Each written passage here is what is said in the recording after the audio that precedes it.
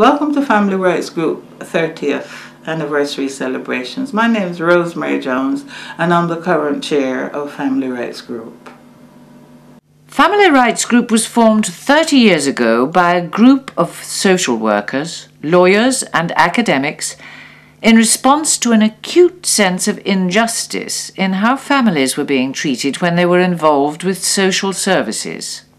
Margaret Hodge, now Minister of State for Children, Young People and Families, recalls. Oh, when I first heard about Family Rights Group, that was 30 years ago, actually, when uh, uh, my husband and various other people I know were engaged in setting it up. And I think at that time it was felt that a lot of uh, policies around children and action around children was taken without any sort of understanding of the fact that children grow up in families and trying to give a voice to families and locate policy and children in uh, around their families was what Family Rights Group was all about.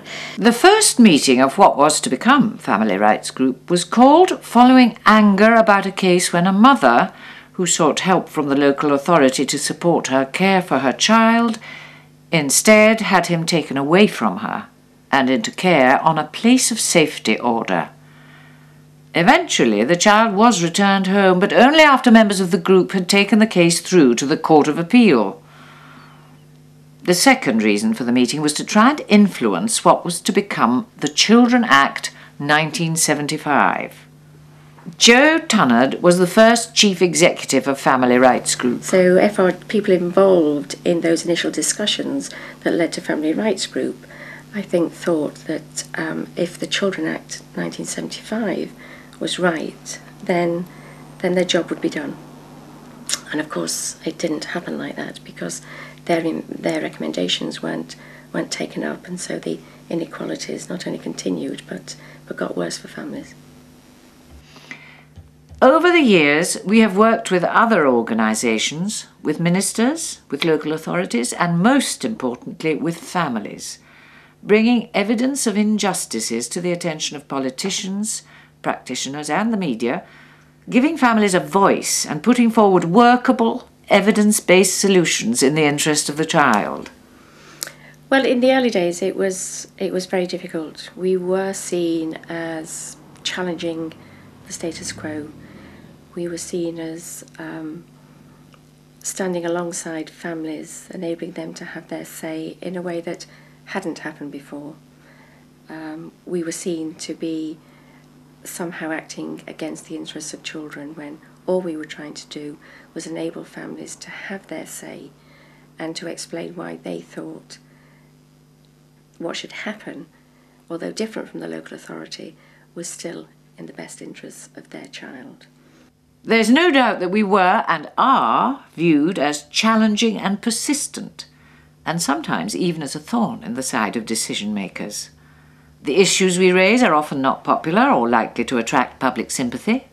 They may not be in fashion, and they certainly don't readily attract funding. Yet over the last 30 years working with others, we have had important successes that have transformed the experiences of children and their families. What was also happening was that um, research evidence was accumulating that was supporting the, the anxieties, the inequalities that Family Rights Group and other organisations were showing. It was this work from different perspectives that really led to, um, to the civil servants working very hard on a piece of legislation that ended up in the Children Act 1989. Many of the arguments when we first articulated them were regarded as too radical. Now they are accepted as best practice. For example, when Family Rights Group was set up, a committee of councillors could pass a resolution which removed parents' rights over their children without going to court and without the parents even being present. Now they can't. Then parents were not included in reviews of children in care and case conferences. Now, working in partnership with parents, underpins the legal framework for the care and protection of children. Then, grandparents had no legal means to seek contact with their grandchildren in care. Now they do. Angela Price has been involved with Family Rights Group for 20 years. She got in touch with us when her grandson was taken into care. Following four foster placements in as many months, the local authority decided to place her grandson for adoption. A decision that Angela, with Family Rights Group support, challenged in the European Court of Human Rights. Well, 20 years ago, our grandson was taken into care, and we were told that as grandparents we had no rights, that we wouldn't see him anymore, and to look on it as a bereavement. Of course, we wouldn't accept this. So they decided to take our case to the European Court of Human Rights. Um, we didn't win, but the outcome of that was that uh, the European Court responded by saying that the government of this land, because there was no legal rights for grandparents having contact with grandchildren in care, that they should look at the law and see about changing it. Angela's grandson was adopted, but with the support of his adoptive parents, Angela and her family remained in close contact with him. Donna, another of Angela's grandchildren, explains. There's me being the eldest, um, and then Damien is a year younger than me, who's my brother, and my younger sister Charlotte is five years younger than me. After the divorce, um, me and Charlotte and my dad um, moved in with uh, Nana and Dadad, and, and then we, we lived there for years and years up until me being like 18 and living like moving away to go to uni really. The three of us are, are quite close and um, we always have been. Damien has always been able to talk to me about everything and I've always been able to talk to him about everything. You know we've given each other advice we help each other out. Um, we go out together over night time we go out and go clubbing and have an absolute just the two of us go out just together the two of us and have we can have just an excellent time. You know it doesn't matter that we don't or that we've never lived together and it just doesn't matter because it's like I said before it's just normal. So we have a very normal relationship I think. Just a normal brother and sister relationship. The fact that we don't live together doesn't make it any different. I experienced an open adoption when uh, I first started and was fostering and we had preparation groups etc there were people there that were adamant that once the child was with them, there wouldn't have been any more contact with their birth parents. They were turning over a new leaf. And I'm sad to say that most of those placements broke down. So I have always been interested in the rights of the child to make sure and that the child was involved as much as possible with the extended family. Children had a fantasy about what their birth family was like, and sometimes it wasn't a realistic fantasy. But I felt that the more exposure that children have with their parents, then they can make informed decisions about where they want to be. A family group conference is a meeting attended by family and friends who are invited to consider the needs of the child and the issues that the child is facing.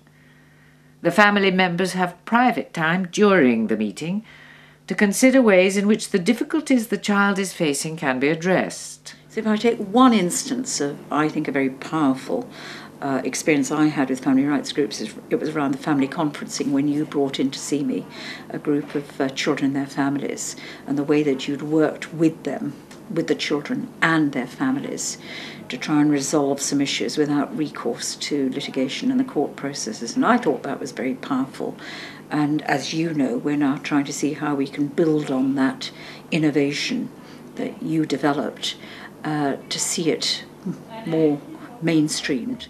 A group conference was held earlier this year to address the behaviour of three brothers Christopher, Nicky, and Jake. Because we got into no trouble and now I stay. We could have got like kicked out of our house by a council or something if we carried on. Uh, before the family conference, there was they're very close knit family, but you did sort of find they were getting in trouble and this one was blaming that one and that one was blaming that one and because they was always going out and like they'd swear at people and throw things at people. And it was only for the past, I'd say two and a half years since their dad died, that was when everything went downhill. When they all were in that room together, it was really nice because they actually got to the point of like, they could all share how they actually felt. I reckon it was good we had the meeting because we sat around the table discussed about what we've done and what we'd like to do for around our area. And we had private time for ourselves to discuss what we wanted to do. The family group conference was, it was really good for our family. It was because it's, it has its, it sort of like showed them the way, I suppose. Like where not to be naughty all the time. There is people out there that will sit and listen to you. You don't have to be naughty all the time. So they've they was really pleased with the family group conference. The kids actually they were happy about that. I don't reckon we're getting into more trouble with learning our lesson taught by what we've done. Michelle contacted the Family Rights Group advice line after years of trying to get support for her son who has severe behavioural difficulties. Unable to get the support her son needed, and with two young daughters to care for, she became desperate. Her son is currently voluntarily placed in care, whilst Michelle, with an advocate from Family Rights Group, continues to press for him to have the services he needs. If your child's being like that, you don't know what to do. Obviously, if they need psychiatric help or whatever it is they need, and you can't give it to them because you're not professional in that way to give it to them. I had a conversation with a lady on the advice line, and she was very positive, and uh, you know the stuff that I told her, she said that what they could do for me. So she arranged for somebody um, to come and see me and discuss, go through exactly, uh, go over what's happened, and I've been getting support from Family Rights since then it gave me an opportunity to have a voice because if I didn't have an advocate there, then I wouldn't have had a voice. I wouldn't have actually been able to express how I felt about the situation and sort of be totally honest and explain why things had happened and how it had escalated and what had been going on. If a family is suddenly involved in issues around child protection, it's incredibly stressful for all concerned. And it's important in trying to ensure that you really do promote the best interests of the child, that you can support the families in uh, advocating for themselves. If you suddenly open the door and social workers come in, police come in, you're, you're uh, accused of all sorts of uh, uh, uh crimes, really, in relation to the way you're caring for your child, uh, it can be a really scary experience. And whilst we've always got to say the interests of the child have to be paramount, nevertheless, working with the family to ensure that they can articulate their viewpoint properly and working with the family to try and resolve any issues that may be around so that the child can maintain a strong relationship with their uh, birth parents is very important. So, independent advocacy, support is a crucial part of effective uh, policy to protect and safeguard children. Yet, despite the commitment, determination, hard work, and generosity of many who have been instrumental in helping us to achieve so much, we know from the daily calls we receive on our advice line from our advocacy work and from our project work that there is still much more that needs to be done. Family Rights Group wants to see that any child who is potentially in need is entitled to an accurate assessment of their needs, drawing on specialist advice as necessary.